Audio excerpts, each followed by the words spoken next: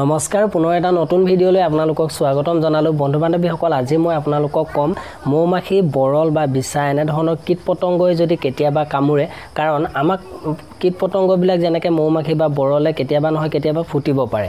আৰু তেনেকুৱা যদি হয় তেতিয়া আমি লগালগ তৎক্ষণাত কেইটামান কাম কৰিব লাগে। আমাৰ হাতত যেতিয়া সময় কম থাকে তেতিয়া আমি এই উপায়কেইটা কৰিয়ে ঘৰতে তাৰ বিষ কমাব পাৰোঁ। তেন্তে কি কি কৰিব লাগে কেনেকৈ কৰিব লাগে গোটেইখিনি কম ভিডিঅ'টো চাই থাকিব।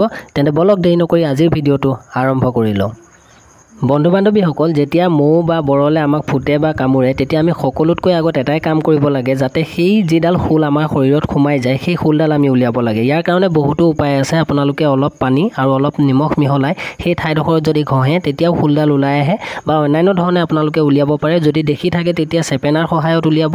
তাৰপিছত আপোনালোকে অলপমান মিঠাতেল ল'ব আৰু সেই মিঠাতেলখিনিৰ ওপৰত আপোনালোকে অলপমান নিমখ মিহলাই ল'ব। আৰু সেই নিমখ আৰু মিঠাতেল মিহলোৱা যিটো মিশ্ৰণ সেই মিশ্ৰণখিনি আপোনালোকে কামোৰা ঠাইডোখৰত অলপমান ঘঁহিব। তেতিয়া আপোনালোকৰ সেই ঠাইডোখৰৰ পৰা যিখিনি বীজাণু সেই বীজাণু নাইকিয়া হ'ব আৰু ইয়াৰ ফলত বিষো কমিব। আপোনালোকক বিষ কমিবৰ কাৰণে আৰু কেইটামান উপায় দিম। তাৰে কাৰণে আপোনালোকে প্ৰথমে বকুলৰ গুটি অলপমান আনি মিহিকৈ পিচি ল'ব আৰু সেই ঠাইডোখৰত লগাব।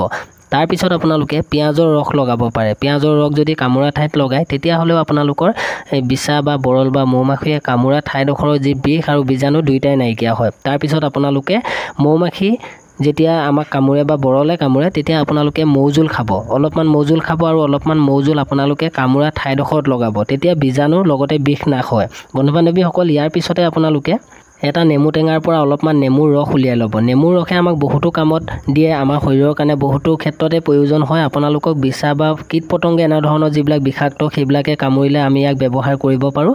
আপোনালোকে অলপমান নেমুৰ ৰস উলিয়াব আৰু সেই নেমুৰ ৰসখিনি আপোনালোকে সেই ঠাইত প্ৰলেপ দিব বা সেই ঠাইত লগাব। তেতিয়া আপোনালোকৰ ফুলি অহা সমস্যাটো আৰু আপোনাৰ বিষ যন্ত্ৰণা এইবিলাক দূৰ হ'ব। অতি সোনকালে আপোনালোকে ৰিলিফ পাব। যদিহে আপুনি নেমুৰ ৰসকণ তাত প্ৰলেপ দিব পাৰে বা আপোনালোকে নেমুৰ ৰসে সেই ঠাইডোখৰ যদি চফা কৰে ধুৱে এনেধৰণৰ কৰিলে আপোনালোকৰ বিষ যন্ত্ৰণাৰ লগতে ফুলি অহা সমস্যা দূৰ হ'ব। তাৰপিছত বন্ধু বান্ধৱীসকল আপোনালোকক ক'বলৈ চেষ্টা কৰিম যদিহে আপোনালোকৰ সেই ঠাইডোখৰত লগাবৰ কাৰণে আপোনালোকৰ হাতত এইকেইটা বস্তু নাই তেতিয়াহ'লে আপোনালোকে আৰু এটা বস্তু লগাব পাৰে যিটো আপোনালোকৰ ঘৰতে পাব। আৰু সেই বস্তুটো যদি আছে তেতিয়াহ'লে লগাওক তেতিয়াও আপোনালোকৰ বিষ নাইকিয়া হ'ব। তাৰ কাৰণে আপোনালোকক লাগিব ক'লা তুলসী। আপোনালোকে বেলেগ তুলসী নল'ব এয়া চাই লওক ক'লা তুলসী।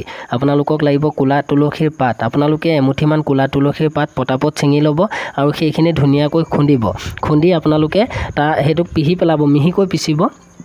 তাৰপিছত আপোনালোকে তাত অলপমান মৌজোল মিহলাই ল'ব আধা চামুচ এচামুচমানৰ আৰু সেই মৌজোল মিহলোৱা যি ক'লা তুলসীৰ পাতৰ ৰস আপোনালোকে সেই ঠাইডোখৰত ধুনীয়াকৈ ঘঁহিব আৰু অলপ সময়লৈকে আপোনালোকে সেই ঠাইডোখৰত প্ৰলেপো দি ৰাখিব পাৰে। বন্ধু বান্ধৱীসকল আপোনালোকে প্ৰথমে ঘৰতে থাকি এই প্ৰাথমিক চিকিৎসাকেইটা কৰি ল'ব তাৰপিছত আপোনালোকে অলপমান সময় পাব আৰু আপোনালোকে ডাক্তৰৰ ওচৰলৈ গৈ ট্ৰিটমেণ্ট কৰিব। কাৰণ যেতিয়া আমাক এটা বৰল বা মৌ মাখিয়ে কামোৰে তেতিয়া আমি ইমানটো বিষ নাপাওঁ। যদিহে আমাক কেইবাটাও বৰল বা মৌ মাখিয়ে কামোৰে তেতিয়া আমাৰ সেই ঠাইডোখৰত অত্যন্ত বিষ অনুভৱ হ'ব পাৰে বা ইনফেকশ্যন হ'ব পাৰে। গতিকে আপোনালোকে ডাক্তৰৰ ওচৰলৈ নিশ্চয় যাব।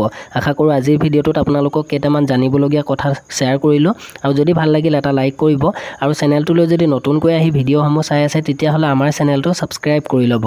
কাৰণ আমাৰ চেনেলত এনেধৰণৰ ঘৰুৱা আৰু গাঁৱলীয়া উপায় আপোনালোকে সদায়ে পাব। তেন্তে পুনৰ এটা নতুন ভিডিঅ' লৈ আহি আছোঁ। চাই থাকিব আমাৰ ভিডিঅ'সমূহ। ধন্যবাদ।